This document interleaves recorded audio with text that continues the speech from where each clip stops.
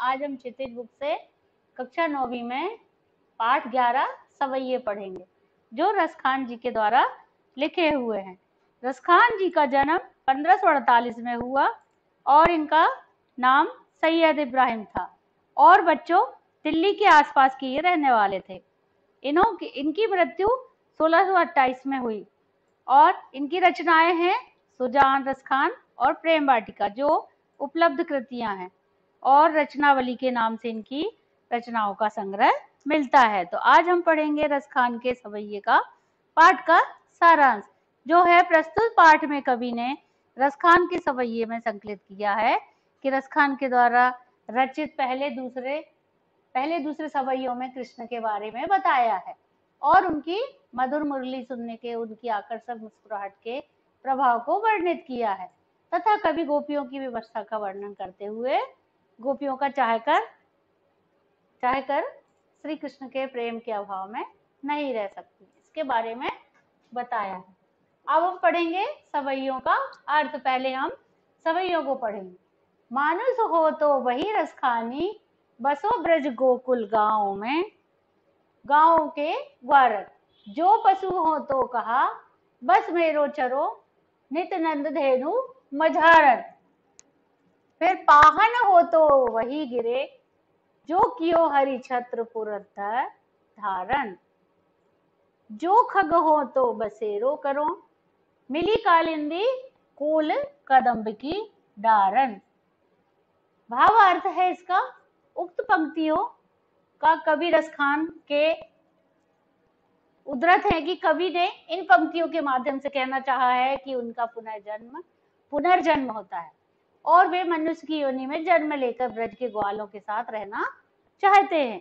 यदि उनका पशु के रूप में जन्म होता तो वे ब्रज के नंद की गाँव के रूप में जन्म लेना चाहते हैं और पर्वत का पत्थर बनकर रहना चाहते हैं। हरि, अर्थात श्री कृष्ण ने कहा, अपनी तर्जनी पर उनके बारे में बताया है कि तर्जनी पर उठाकर उन्होंने ब्रजवासियों को इंद्र के प्रकोप से रक्षा की थी। यदि उनका पक्षी के रूप में जन्म होता तो वे यमुना किनारे कदम की डालों पर तेरा डालना चाहते थे। और कवि के उक्त चाहतों से ज्ञात होता है कि किसी हाल में भी श्री कृष्ण के सानिध्य में प्राप्त करना चाहते हैं कवि। चाहे उन्हें इसके लिए किसी भी योनि में जन्म क्यों ना लेना पड़े।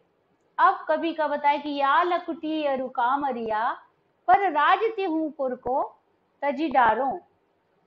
आठम सिद्धि नवो निधि के सुख नंद की गाय चराए विसारो।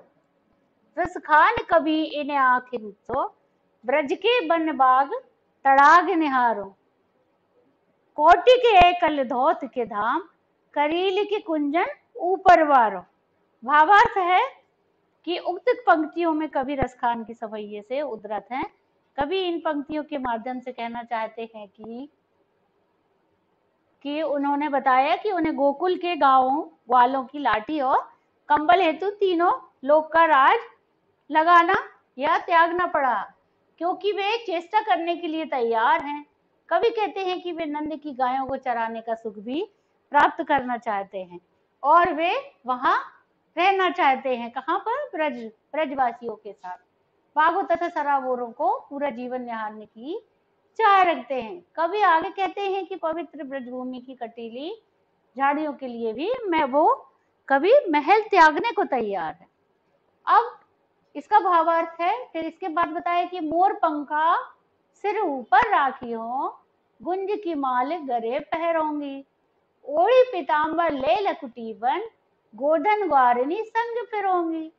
भावत और वो ही मेरो रसखानी सो तेरे कहे, सब स्वांग करोगी।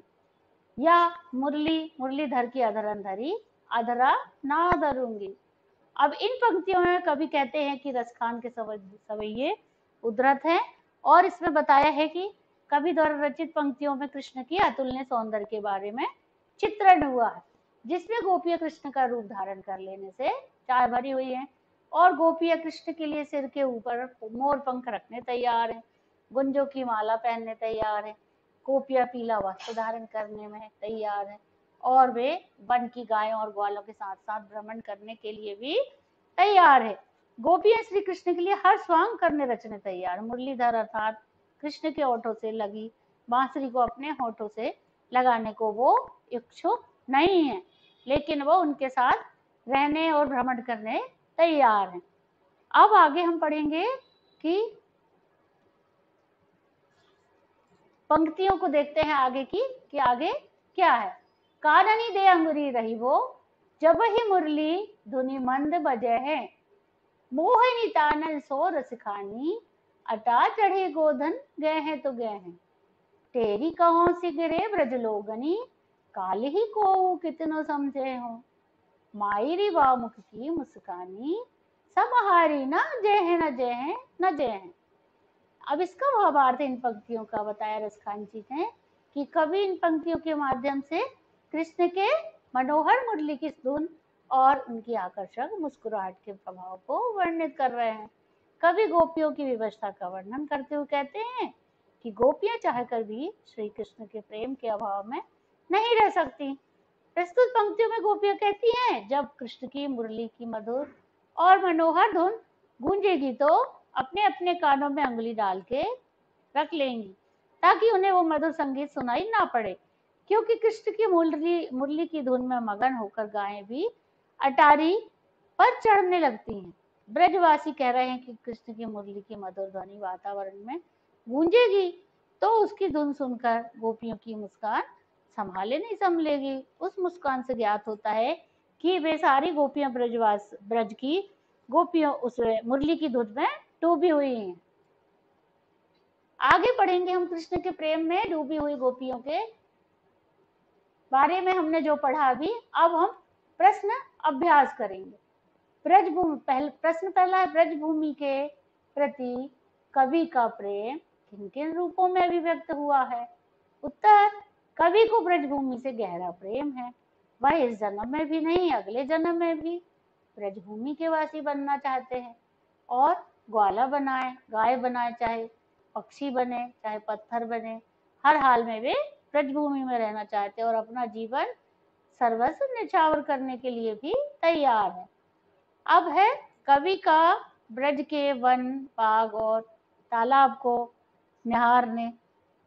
निहारने के पीछे क्या कारण? कवि का ब्रज के वन बाग और तालाब निहारने का कारण है कि श्री कृष्ण का जुड़ाव महसूस करता है कवि श्री कृष्ण का अनय भक्त है। अपने आराध्य से जुड़ी वस्तुओं ने शांति और आनंद की अनुभूति कराती हैं। अब प्रश्न है तीसरा, एक लकटी और कामरिया पर कवि सब निछावर करने की क्यों तैयार है? क्योंकि सबसे महत्वपूर्ण है वो कृष्ण जी। इसलिए कृष्ण की एक एक चीज़ से वे महत्वपूर्ण है उनके लिए। यही कारण है कि कृष्ण की लाठी और कंबल के लिए वो सभी कुछ निछावर करने तैयार हैं। प्रश्न चार है कि सखी ने गोपी से कृष्ण का कैसा रूप धारण करने का आग्रह किया? अपने शब्दों में व्यक्त करें। सखी ने गोपी से कृष्ण का ठीक वैसा ही रूप धारण करने का आग्रह किया जैसा कृष्ण दिखते हैं। इसके लिए उसने सिर में मोर पंख को मुकुट बनाया, गले में गुंज की माला और शरीर में पीला वस्त्र धारण किया, हाथ में लाठी लेने का भी आग्रह किया। प्रश्न पाँच आपके विचार से कवि, पशु पक्षी और पहाड़ के रूप में कृष्ण का सानिध्य क्यों प्राप्त करना चाहते हैं? तो उत्तर है, कवि, पशु पक्षी और पहाड़ के रूप में कृष्ण का सानिध्य इसलिए प्राप्त करना चाहते हैं क्योंकि उनका कृष्ण जी से बहुत ही लगाव जुड़ा हुआ है। प्रश्न छह चौथे सवैये के अनुसार गोपियाँ अपने आप को क्यों विवश कर पाती हैं? उत्तर चौथे सवैये के अनुसार गोपियाँ अपने आप को इसलिए विवश कर पाती हैं कि श्री कृष्ण की मुस्कान अत्यंत आकर्षक है। मुस्कान के आकर्षण से बच पाना उनके लिए कठिन है। इसके लिए वे मुस्कान के कारण अपने तन मन पर अपना नियंत्रण नहीं कर पाती हैं। अब प्रश्न हम साथ पढ़ेंगे। कोटि के इसका काका है कोटि के कल घोर के धाम करील के कुंजन ऊपर वारो।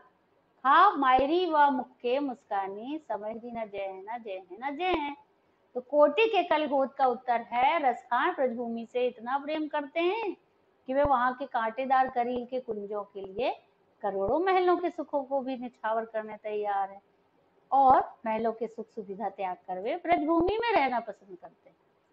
अब है मायरी व मुख मुस्कानी समरी न जय है न, जय हो का? एक गोपी, कृष्ण की मधुर मुस्कान मोहिनी मुस्कान पर इतनी मुग्ध है कि उसमें कृष्ण की मोहकता झेली नहीं जाती। वह पूरी तरह उस पर समर्पित हो गई है। कालिंदी कुल कदम्ब की डारन में कौन सा अलंकार है? उत्तर है कालिंदी कुल कदम्ब की डारन में कावर्ण की आवृत्ति के कारण अनुप्रास अलंकार है, क्योंकि का शब्द इसमें बार बार आया है। इसलिए इसमें अनुप्रास अलंकार की अभिव्यक्ति है। अब है काव्य सौंदर्य स्पष्ट करे। या मुरली मुरलीधर की अधरा, ना धरी अधराना धरोंगी। तो इसमें यमक अलंकार का सौंदर्य है। क्योंकि मुरली मुरलीधर में सबंग यमक है। अधरान धरी, अधरा नाम में भी सबंग यमक है। अधरान अधरों पर, अधराना ऊंटों पर नहीं। अनुप्रास अलंकार का सौंदर्य दिखता है। फिर प्रश्न दस रचना और अभिव्यक्ति। प्रस्तुत सवैयों में जिस प्रकार ब्रजभूमि के प्रति प्रेम अभिव्यक्त हुआ, उसी प्रकार ही मातृभूमि के प्रति अपने मन भावों को अभिव्यक्त करें। अब बच्चों यह इस प्रश्न का उत्तर आपको स्वयं लिखना है। यह है आपका ग्रह कार्य है, जिसे आपको बुक पर लिखना है। और प्रश्न ग्यारह में हमको बताया कि रसखान के इन सवैयों का शिक्षक की सहायता से कक्षा में यथार्थ वाचन किया गया जैसे मैं अभी मैंने किया, उसी तरह। तो आप इसका वाचन भी करें सवैयों का और उसके उत्तरों को अर्थों को पढ़ें। प्रश्न बारह, सूरदास तथा रचित कृष्ण के रूप सौंदर्य संबंधों को भी पढ़ें। आपको ये प्रश्न को भी आपको खुद ही पढ़ना, क्योंकि रचना संबंधी सारे अर्थ भावार्थ सब आपको पढ़ाया। उसी तरह आपको ये